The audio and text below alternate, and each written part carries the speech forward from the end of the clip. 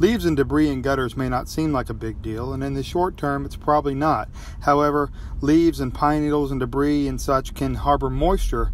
Over time, this excess moisture can find the smallest hole in your fascia and start to cause rot. Oh, and a lot of wood destroying insects love damp wood. You can see this trim board in this photo starting to show some signs of rot, but what I really want to point out is that your siding should be separated from your roof by a minimum of one inch and preferably two inches to keep moisture from wicking up into the siding and causing this rot. Thanks for checking out these tips on roof and siding maintenance. Please like and share the videos.